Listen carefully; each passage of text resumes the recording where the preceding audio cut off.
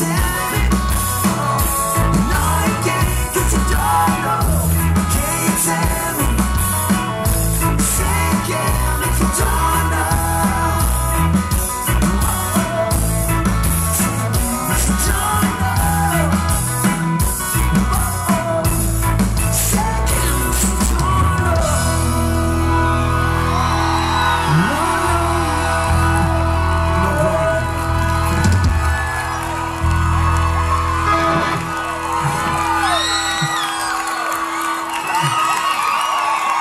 Is officially the only time we've ever changed that song up, but that was just for you guys. That will never happen again, except for maybe a year from now.